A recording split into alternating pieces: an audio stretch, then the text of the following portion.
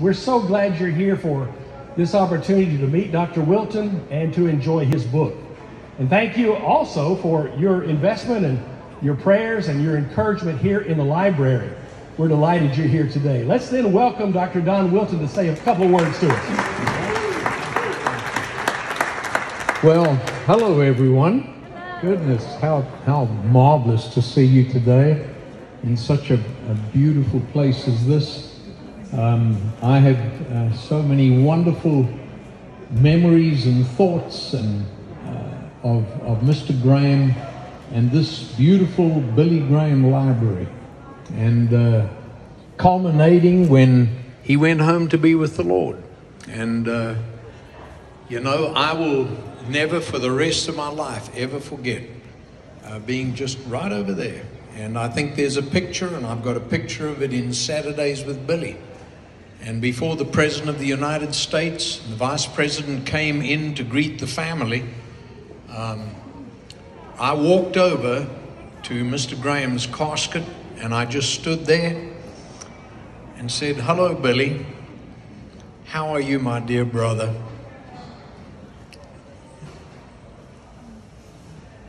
And we just had a little chat together. And as I stood there at the foot of that casket, all of a sudden, the sun began to shine through that cross. And you can see it in the picture. And that sun came right over the top of me and seemed to stretch out the very touch of God from the heavens. You know, as I stood there on that day, and as millions of people around the world began to ponder the life and testimony of someone as precious as Dr. Billy Graham, all I could do was say, Thank you, Jesus. And so, Saturdays with Billy, it's not a biography. We've got wonderful biographies. This library tells an incredible story about coming and going and connecting and being and people and places. No, as David Bruce will tell you, uh, a man who himself just ministered to Mr. Graham for so many years. My story is just about something that I don't know that I'll ever be able to fully understand myself.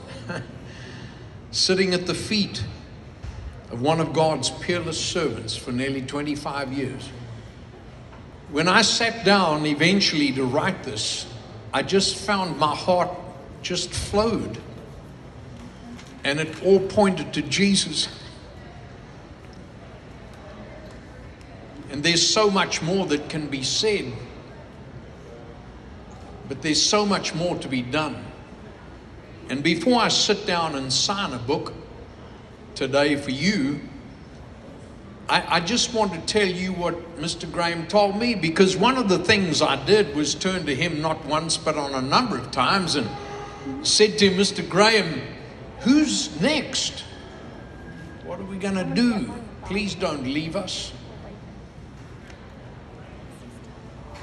Don't go anywhere. We, we don't know how, I don't know what I'm going to do without you who's going to be the next great man of God? And, and he looked at me. He looked at me. You're looking at me. And he said, Why, you are Don. And I just for a moment, I thought to myself, My, Mr. Graham thinks that much of me. And then he very quickly said, And so is everyone who knows and loves Jesus. Do you know who that is? That's you and you and you and you and me and you and me. God loves you. And when you read this book, I pray as you read it and pass it on and are touched in only a way that God can, gaining a glimpse into the heart of this precious man, just remember one thing you're it.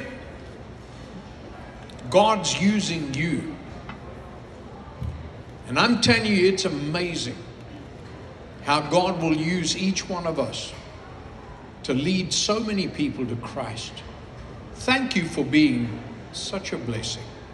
And thank you for giving me an indescribable honor being here at the library like this. The audacity of me signing a book. Please don't look at my signature. It's only about Mr. Graham. And I'm going to tell you something. If you for one minute think it's about Mr. Graham, you're wrong. Because he only wanted us to think about Jesus. Mm. Let's do this.